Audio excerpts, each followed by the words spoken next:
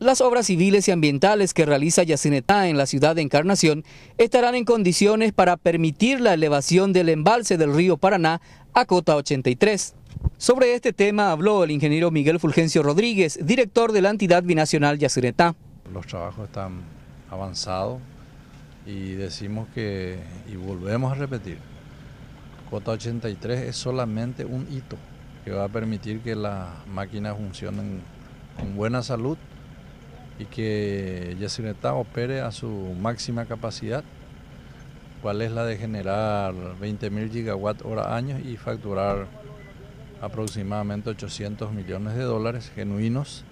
de manera que podamos eh, tener ingresos para poder atender las inquietudes de, la gente eh, afectada por este gran emprendimiento el ingeniero Rodríguez recorrió además zonas rurales como Nueva Alborada, donde se interiorizó de la situación de áreas involucradas en el proyecto.